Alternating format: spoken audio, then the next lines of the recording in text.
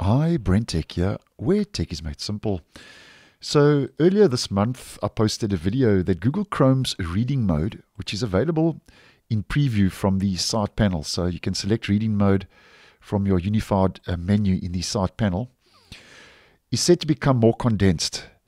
And the reason for that is that the toolbar in Chrome's reading mode in the side panel will be replaced by a simple gear icon, which uh, possibly would end up here to the left hand side. There'll be a gear icon, which means all of these settings, like your font, uh, your font size, your theme, uh, your line height, and so on, all of these settings will be will be placed in the actual gear icon, which will open up in their own settings menu, thereby freeing up um, this toolbar and just making things a lot less cluttered and a lot more condensed.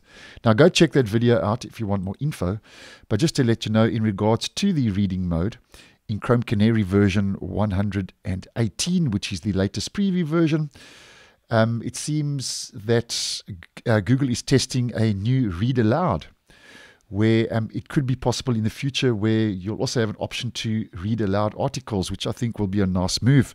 Now, I haven't received the feature, but nonetheless, if we head over to a screenshot provided by Leo, over on X.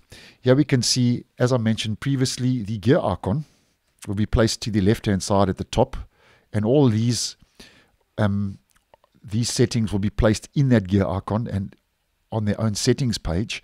And here's the new read aloud, where um, Chrome for Desktop will also have the option, um, possibly in the future, to read articles aloud. So when you draw up an article, you press this button. You can see it's a little play button. I don't know if you can see that in the video.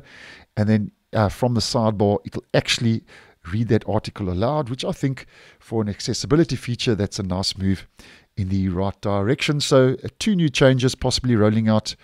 Uh, 4 and 2 reading mode in the future. And by the way, reading mode, um, if you are in the stable version, you can enable in the stable version using an experimental flag. Just head over to the experimental flags page, enter reading mode in the flags, and enable the flag, and you'll also get reading mode available in the stable version. So thanks for watching, and I'll see you guys in the next one.